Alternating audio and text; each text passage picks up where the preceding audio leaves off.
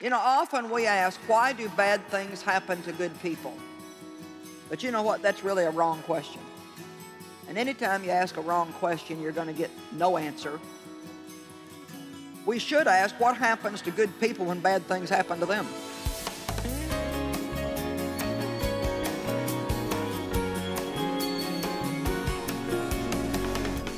We're going to talk today about the art of waiting on God.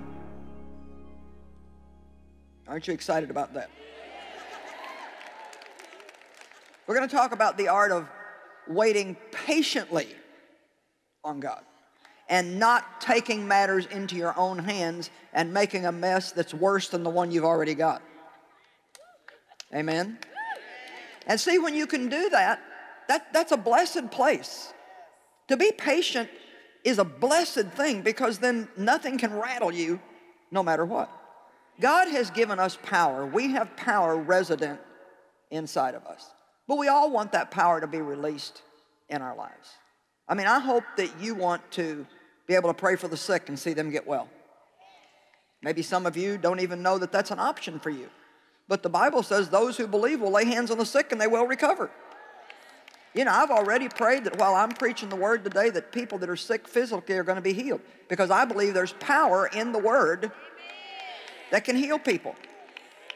The Bible says in Psalms that he sends his word and heals them and delivers them from the pit and from destruction. So I can preach on anything, and as long as it's the word, there's power in it to bring deliverance and healing and breakthrough to people. But you need to believe that. Is there anybody here today that needs to believe that while the word is being preached, you can be healed physically? And how about people on television? You know, just, don't just sit and put up with your mess. Just say the word has power in it. The word is Jesus, actually. And we come in his name. And when that word is preached and you take it and you receive it, there's power in it to deliver you and to set you free. But you know what? We get what we believe for. So it's very important to me, personally, that I have a great deal of power flowing through my life because, frankly, I want what I'm doing to bear good fruit. I want to see you get as much help as you can possibly get, and it encourages me to get back good reports of things that took place in people's lives as they were hearing the word. So I want that enough that I'm willing to cooperate with the Holy Spirit to try to develop whatever virtues He says that I need to develop in my life in order to have that take place. Now, a lot of these things that we talk about, like the things that we're going to, we talked last night about blessed, blessed are the poor in spirit. Well, that's a power position. It means to be humble minded and to not think that you're better than other people. Do you know that's a power position? When you can actually be humble minded, not think more highly of yourself than you ought to, always treat everybody else very excellently. Don't think anybody is smarter than you, prettier than you, better than you, but you're just all one in Christ. That's actually a power position. But you know what? The world would call that weakness. We have to understand as we hear these things today that they're exact opposite of what we're taught in the world. How many of you know Jesus was a little bit different than everything else that was going on in his day and age? When he came, he kind of turned things around. Actually, it was said of the disciples after Jesus left of the apostles that these were men who literally turned the world upside down. Well, I don't know about you, but I'd like to be a woman who turns the world upside down. I want to be somebody that God can use to do absolutely shocking things and to do things that nobody has ever done before. And you know what? You should never discount yourself when you hear somebody say things like that and say, well, yeah, that would be nice if that could happen to somebody, but it won't be me. Let me tell you something. You've got just as much opportunity as everybody else. It just depends on what you're willing to believe and how you're willing to live. It depends on what you're willing to believe and how you're willing to live. I'm a little bit weary of people thinking that all it takes to have a relationship with God is to come and pray some prescribed sinner's prayer and then just go back out and live like they've always lived. We have to be willing to live a new life for Christ, and it's offered to us. We have the power to live it, but we need to, we need to be ready to be in the world and not of the world. The first we want to talk about today is going to seem really odd to you. It, it actually seemed a little bit odd to me when I first looked at it years and years ago. And it, it basically says, Blessed are those who mourn, for they shall be comforted. How in the world can you be blessed when you're mourning? Because if you're mourning, that means that you got a problem or you're hurting somewhere or you've had a great loss in your life. I'm sure that there are people watching by TV that you're mourning right now. You've lost something, you've lost a job, you've lost someone you love, you've lost a relationship. Maybe you've had a friend that you've really cared about, found out they were talking about you in an unkind way, and you've lost that relationship. Maybe you've lost an item that meant a lot to you. Maybe you've had a job for a long time and had a lot of money invested in retirement there, and all of a sudden the job went down the drain. There's a lot of things that we can lose in life. There's a lot of ways that we can hurt. And the Bible actually says that when we're hurting, we're blessed because we can be comforted. But today I want to talk to you about the amazing, the overwhelming amazement of God's comfort and how awesome it is to have a problem and know God and be able to receive His comfort. Just think about all the people in the world who have problems like you have, or even worse, and they have no comfort because they don't know where to get it. All they can do is hurt and hurt and hurt and hurt. And not only can you be comforted when you're mourning, but you have the privilege, you and I have the privilege of actually having this belief system that is backed up by the Word of God that sounds so crazy, but it's so true that I can actually believe that I have got this, this problem in my life and this pain in my life, but I am, something good is going to come out of this. Now that's just downright insane. I'm hurting, but, it, but it's going to work out for my good. I'm hurting, but when I get through this, I'm going to actually be a deeper, richer, better, more powerful person than I was before I ever had the problem. Do you know, I actually think that this is one of the greatest benefits and secrets of being a believer in Jesus Christ is we don't have to have a problem and just say, well, it's all over. There's nothing I can do. What a mess. I'm at the end of everything. Let me tell you something. Having a problem is the best place in the world to begin again. You can always find a new place to begin again. What does that really mean? Blessed are those that mourn, for they shall be comforted. I'm really hurting, but I'm going to bounce back. Is there anybody here today that could take on that attitude? You know, I'm really hurting. I mean, I'm hurting so bad, I just feel like I can't hardly stand it. But you know what? I'm making a decision today. I am going to bounce back. I am going to come back from this. This is not going to be the end of me. Do you hear me, world? I am going to come back.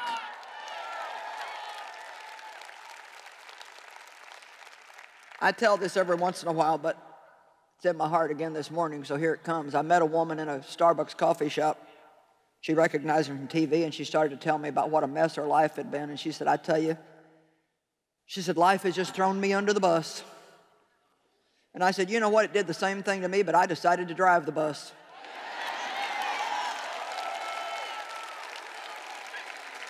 Now you see, she didn't, she didn't understand what I'm trying to tell you today. She was going to spend the rest of her life under the bus and she was going to tell everybody about it. And she was going to feel very sorry for herself because she was under the bus. And never once did it occur to her to crawl out from under the bus and get in the driver's seat and drive it and drive it around and pick up all kinds of other people that were hurting because they were under the bus.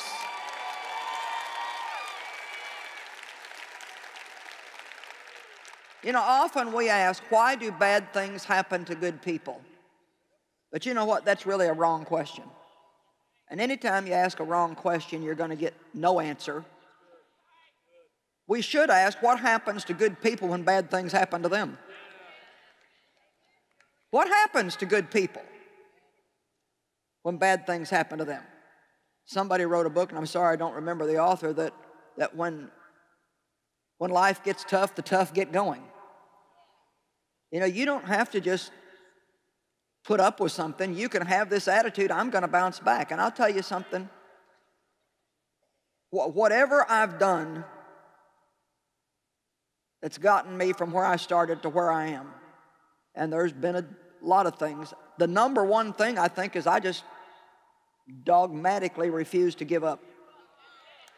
And I tell you, wherever you're at today, whatever's going on in your life, whether you're in this room or you're watching by TV or listening to some recording, no matter what's happened to you or how many times it's happened or how hard it's been, if you will just make a decision right now, I am not going to give up. I am going to bounce back. I am going to overcome. And not only that, I am going to get something good out of this because God is not a man that he can lie, and his word says that all things work together far good to those who love God and are called according to his purpose.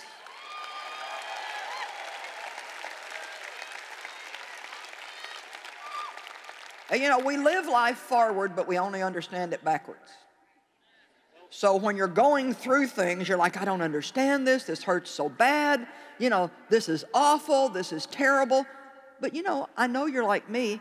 You're over here a few years down the road, and now you look back and you think, oh my gosh. Boy, that thing that I thought was so terrible when I lost it, I realize now that that relationship was separating me from God. And wow, is it a good thing that that relationship was lost in my life.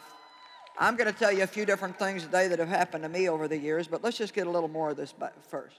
What happens to good people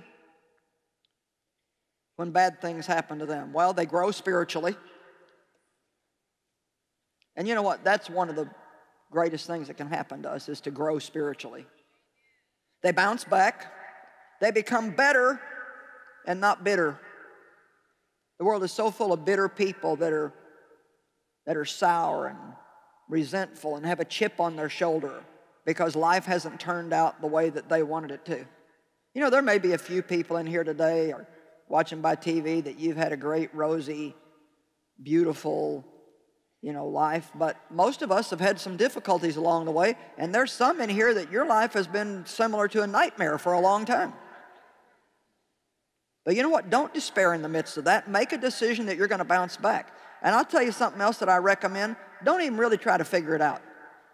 Don't start comparing yourself to other people. Why me? You know, why is their life so great and mine is not? I can't answer all those questions, and I doubt that God's going to answer them for you. He may show you a few things.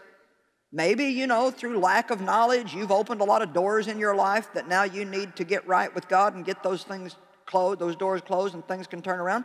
But a lot of times we just don't know why things happen. And I've found out that I don't have to know why they happen. All I need to know is the one who can change them and turn them around for good. Amen? They don't count what they've lost, but they count what they've got left. Well, it's so dangerous to just sit around and think about, well, this didn't work out and that didn't work out. How many things do you have in your life right now that are working out? How many great blessings do you have? Can you walk? Can you talk? Can you hear? Can you see? Were you able to get up and go to the bathroom this morning without having to have somebody put you in a wheelchair and roll you there? Did you have a roof over your head last night, or are you like some of the people that I've seen right here in your own city who are getting ready to sleep out in the streets in the winter? I, still just think that just must be absolutely unbelievably awful. And you know, even if some of them could do something about it and they won't, there's still a problem there. There's still something that they're, they're missing, and we still can at least have compassion on them. We can still at least pray for them and not say, well, you know, bless God, if you want to do something about it, you could.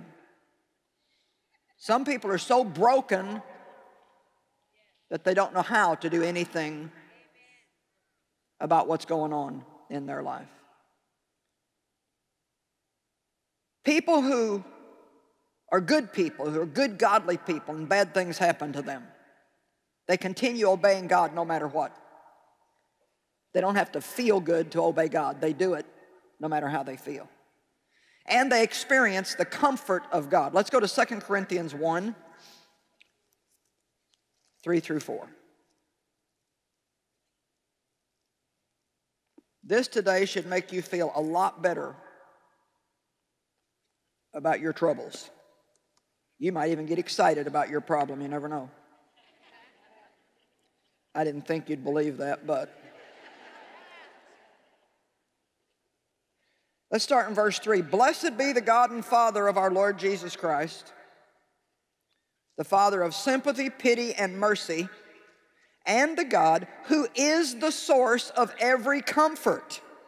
Now, let me just stop here for a minute and say when you're hurting, it's pretty near useless to run to people thinking that they're going to give you enough comfort to get you over it. Now, I'm not saying people can't help. It's good to get somebody to pray for you. It's good maybe to have somebody listen to you. It always feels nice when somebody says, I'm sorry you're hurting, I understand. But even with all of that, they can't give us enough comfort to get us strong and up on our feet and moving in the right direction again. Always go to God first when you have a problem. Do not go to the phone, go to the throne. And so often we run to people that don't even know how to clean up the messes in their own life, and we're asking them what we should do about ours. And so I like this that God is the source of all comfort. And I can tell you, there are people in here right now that you need to hear what I said because every time you got a problem, you run to one of your friends. Have you ever gotten mad at somebody because you went to them for help and they didn't even seem to understand what was going on?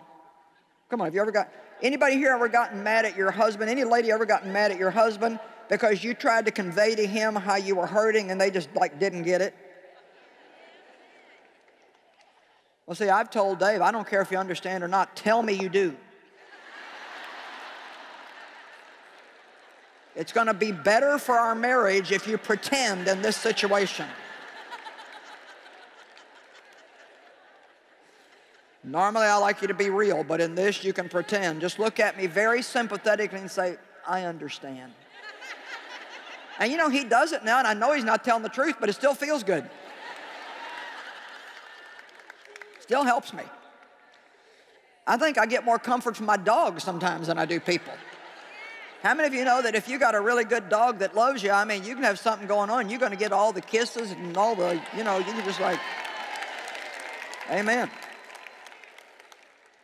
So if you're the kind of person who keeps going to somebody and you're aggravated at them all the time because they're not giving you what you want and need, how about going to God? Verse 4 Who comforts, consoles, and encourages us in every trouble every calamity and affliction, so that we may also be able to comfort, console, and encourage those who are in any kind of trouble or distress with the comfort and the consolation and the encouragement with which we ourselves are comforted, consoled, and encouraged by God. So, if I could just take this to the very edge and see if you can believe this with me. Do you know, I believe in my life that there are things that God could have delivered me from much more quickly than what he did. But he didn't, and it was specifically so I could bring the people that I teach the comfort that I'm able to bring them now. Because when I talk about going through things, I'm not just, didn't just get it out of a sermon book. I've been there, done that, know what I'm talking about, and I know that God is faithful. So if you want to be used by God, if you have dared to say, God, use me, if you have dared to pray, God, I want you to use me. I mean, if you have dared to pray that, God, I want you to use me. Well, then guess what? You just put yourself right out there. Because you know what? If you want to work for God, you got to have some experience. It's not good enough just to say what's in a book. You got to have some experience. And the Bible says that even Jesus learned obedience through the things that he suffered in Hebrews 5. Now, how could somebody who was never disobedient learn obedience? What that means is he learned the price of obedience. He learned what it costs to really obey God and to be prepared. And the Bible says that he was prepared and equipped for his office as high priest through the things that he went through. You know what? I'm qualified to minister to you because I've been through what I need to be through to get the qualifications to stand here and know what I'm talking about. And if you want to be qualified to really help somebody else and to have any real power behind what you say, then you're going to have to trust God that no matter what you go through, He's got a purpose and a plan for you, and you will be better when you come out on the other side than you were when you went in on this side. And you know, you can all, it's very easy to clap when you've been through it and you've got your equipment. And I'm grateful for your encouragement this morning. But let me tell you something when you're on the other side of that mess and you don't understand one thing about what's going on and you're hurting so bad you feel like your guts are falling out, it is hard, but it's at least beneficial to have somebody come along and say, look, this is probably what's happening, and if you'll just hold steady, you're gonna come out on the other side, you're gonna bounce back, and everything is gonna be better than it could have ever been if you wouldn't have gone through that thing that you went through. Amen? Blessed are those that mourn, for they shall be comforted. Our natural inclination would be to feel that we're not blessed when we've lost something. However, often the things that we cling to are the very things that separate us from a deeper relationship with God. Can I tell you that God doesn't want you just to have some little surfacey, I go to church once a week relationship with Him? He doesn't want you just to put him in some little spiritual, religious compartment of your life while you run the rest of your life. He wants to invade your life and be involved in every single thing that concerns you. Amen? And sometimes God has to work with us in ways that we don't understand. Sometimes what we think is the greatest tragedy in our life turns out to be one of the greatest blessings that we could have ever possibly had. All you have to do is just think about Joseph in the Bible. I mean, man, the story starts out so bad. A little guy with a dream for his life, and he's just a happy little guy that felt like God wanted to use him, and the next thing you know, his brothers are so jealous and hate him, they throw him in a pit and tell his father he died, and then they sell him to slave traders. And then he ends up in Potiphar's house, and pretty soon he was in charge there because you know what? You really can't keep a good man down. Everywhere he went, he ended up being in charge and having favor. When God's favor is on you, it doesn't really matter where you're at, you're going to get favor. But the devil is still the devil, and so he found somebody he could work through, and Potiphar's wife wanted to have sexual relationships with him, and he would not because he was a man of God. He held firm no matter what it cost him. I said he held firm no matter what it cost him. I said he would not because he was a man of God, and he held firm no matter what it cost him.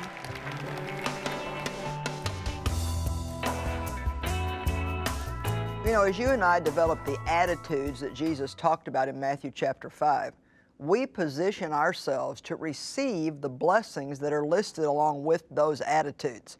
It's really interesting to study them and to see really what the fullness of the meaning blessed is.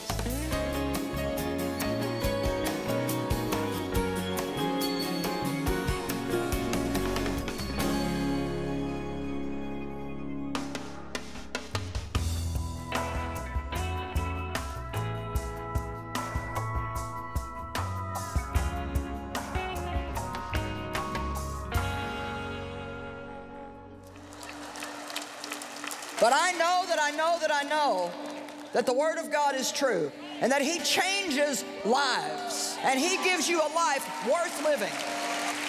Misschien ken je Joyce Meyer van haar boeken of van haar programma Enjoying Everyday Life. Maar wist je dat Joyce Meyer Ministries ook overal ter wereld concrete humanitaire hulp biedt? Door middel van voedselverstrekking, ziekenhuizen, noodhulp bij rampen, het bevrijden van slachtoffers van mensenhandel en nog veel meer. Deze christelijke hulporganisatie heet Hand of Hope en draait volledig op giften. Early on, mom and dad, you know, really just started to realize just how full the Bible is with uh, mandates that we're supposed to take care of the poor. You know, talks all the time about visiting those that are in prison and feeding the hungry and, you know, taking in the stranger and, and taking care of the widow and the orphan. And so we strive to do that. And as the ministry has grown, our, our ability to influence and do bigger things has also grown. You know, it's really great to have the ability to feed children all around the world. And I have a goal and a desire to keep feeding more and more all the time. This after-school feeding program serves an average of 90 to 100,000 hot meals per One year. One meal for these kids is is survival. Well, I'm here in Thailand at one of our children's homes. You can feed, house, and educate a child. Hope Cambodia has been absolutely amazing. We've opened 15 different orphanages, and we're so grateful to be able to build this well here in Sri Lanka. We love to get clean drinking water to people. So the water they're drinking is not making their children sick, and it's, it's not dirty, contaminated water. Definitely feel in Haiti just the absolute desperation. I'm at the Cure Hospital in Malawi, Africa. A huge line of people who are waiting to see our nurses and our doctors. Many doctors and medical people have volunteered their time. We are in Somers Point, New Jersey. Well, today we're in, we're in Joplin, Missouri. We're here in Haiti in the village, and we're about to move people into brand new houses we've built. The winds were so constant with these big, big gusts. It was terrifying. 150 or more were killed, thousands left homeless. How you doing there, guys? Those gifts from Joyce Meyer Ministries. Here in Zimbabwe, I was able to hand out the two millionth bag in a prison. That you can have a different life today. Don't know how many, you know, lives you guys saved by coming in and showing the love that you guys show. Human trafficking, today's term for modern slavery. We've been working in different parts of the world and providing a, a place for women to come out of that lifestyle and be restored. It, it, there's no limit here. This is this is ran by God. He changes lives in Project Hope. You can change, you can get healing, you can survive. Over Jezus vertellen en mensen laten zien dat God van ze houdt. Ja, de vele noden op de wereld gaan een mens te boven. En misschien vraag je je zelfs af of je er überhaupt wel iets aan kunt doen. Maar dat kan dus wel degelijk. Hand of Hope, de christelijke hulporganisatie van Joyce Meyer Ministries, is daar het bewijs van. Alles in één keer oplossen gaat niet. Maar wij bieden mensen één voor één de helpende hand.